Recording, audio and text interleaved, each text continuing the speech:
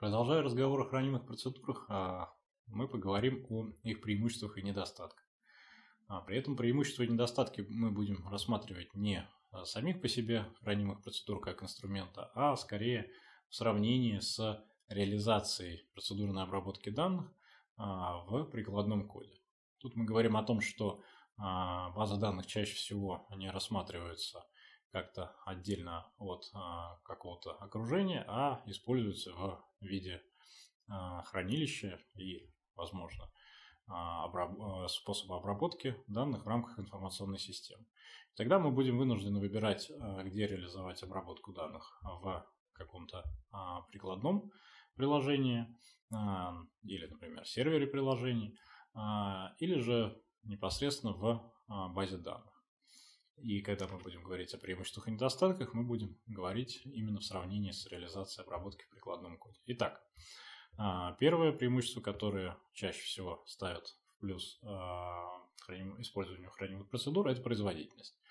А, в большинстве случаев это действительно так. Почему же? Собственно, тут ситуация достаточно проста, потому что обработка данных ведется ровно там, где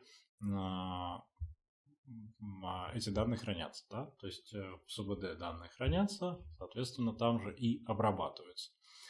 А, что здесь важно? Здесь важно, что можно сделать больше допущений по кэшированию данных, да, потому что если бы, если, например, с базой данных работает много разных приложений, а, и каждое приложение реализует кэширование, то в общем смысле мы не можем сказать, что какой-то кэш в какой-то момент не является является актуальным, потому что а, каждое конкретное приложение не а, изменяло, например, базу. Ну, это достаточно условный а, пример, но тем не менее. Потому что в любом другом месте данные, в любом другом приложении данные могут быть изменены, и тогда кэш станет неактуальным. Насколько это важно и как это может быть обработано, это не предмет текущей, текущего обсуждения, но как факт можно сказать, что в базе данных, а, а, где, эти, а, где данные хранятся, всегда будет наиболее актуальная информация, и поэтому кэширование в данном случае потенциально вызовет меньше проблем согласованности данных в разных источниках. Таким образом, данные могут быть закэшированы. Также закэшированы могут быть планы выполнения хранимых процедур, потому что план выполнения операции в, а, при работе с базами данных. Это, в принципе, отдельная часть и вычисление этого плана, и э, анализ его эффективности. Это вообще отдель, тема отдельной лекции. Вот, в рамках курса введения мы ее не рассматриваем, но надо понимать, что э, процесс, порядок выполнения и то, каким образом будут обрабатываться данные в рамках даже простого на вид селект запроса, а, это не всегда совершенно однозначно, а, однозначно будет вариант этого исполнения. А, поэтому хранимый план выполнения процедур – это тоже преимущество, которое можно, с помощью которого повышается производительность. Дальше организация поддержки целостности, ну или другим термином можно воспользоваться согласованность. А бывают и довольно часто такие случаи, когда с помощью ограничений целостности, которые дает нам реляционная модель или SQL модель, или какие-то внутренние а, способы ограничений целостности, которые предоставляет конкретный СУБД, нельзя а, реализовать всю сложность, которая характерна для отображаемой в базе данных предметной области. И тогда нам необходимо условно вручную поддерживать эту согласованность.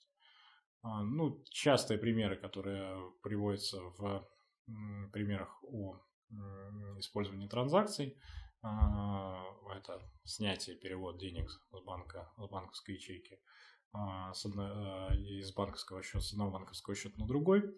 Ну, или же, например, в тех случаях, когда у нас по каким-то причинам база данных является ненормализованной, и у нас имеются некоторая избыточность информации, нам необходимо, а, тем не менее, базу поддерживать в согласованном состоянии, а, мы должны будем а, явно а, заботиться об этом с помощью каких-то механизмов. И а, хранимые процедуры а, часто являются довольно эффективным механизмом поддержки такой согласованности. Третья часть, третье преимущество, которое тоже часто приписывается использованию хранимых процедур, это скрытие структуры данных. В действительности мы говорили о тех недостатках реляционной модели и SQL баз данных, а, которые а, таковы, что в частности таковы, что реальные базы данных содержат большое количество таблиц, и структура данных зачастую настолько сложна в реальных приложениях, что воспринять ее программисту, который реализует какое-то прикладное приложение. А, достаточно сложно, и постоянно держать это в голове ну, часто, ну, скажем так, просто не получается.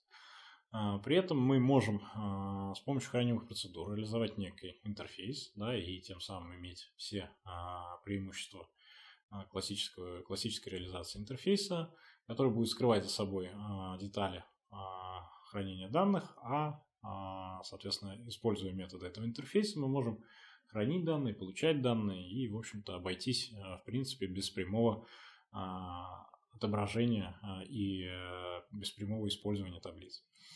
Модульность. Ну, тут тоже достаточно понятно.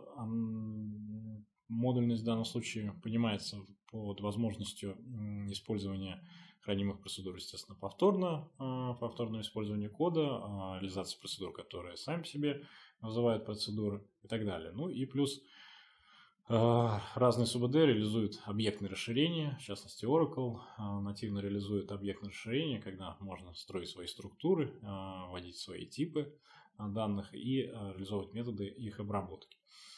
Таким образом, реализованная в виде хранимых процедур логика, хранящаяся в базе данных и исполняемая там же, может быть, скажем так, ну, более компактной и более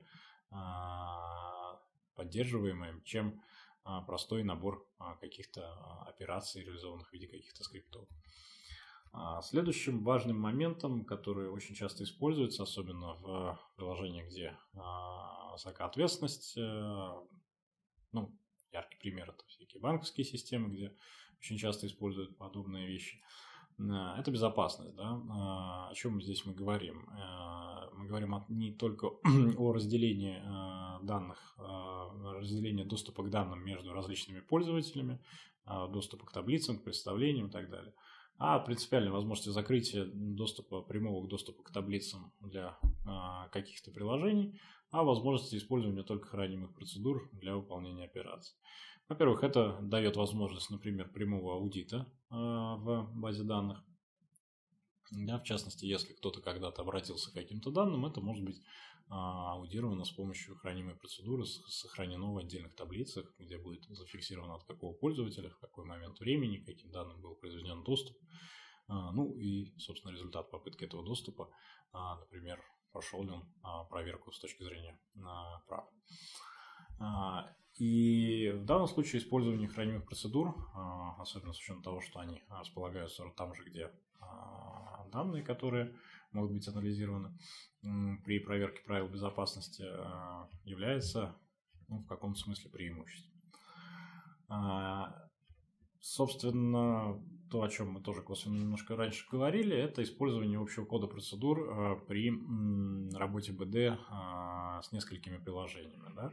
То есть, если, например, нам необходимо какую-то логику, ну, например, те же а, действия по аудиту или проверке прав доступа а, реализовать в нашей информационной системе, то если у нас база данных используется разными приложениями, не будем сейчас говорить о причинах, но, например, а, так случилось, и так действительно бывает, и в общем и целом сплошь и рядом, то реализация, например, таких рутинных операций, как вы сказали, пришлось бы делать отдельно в каждом приложении. А, не то чтобы эта задача невозможная, но решение любой, даже иногда с виду кажется простой задачей, на самом деле может повлечь а, сложности и в поддержке, и в развитии программных систем. Об этом тоже можно говорить отдельно и долго, но тем не менее, если мы имеем возможность что-то реализовать один раз, в данном случае какие-то типовые операции по работе с базой, то, а, конечно, во многих случаях а, очень хочется так сделать, и а, такая реализация будет более оправдана. В этом смысле, если у нас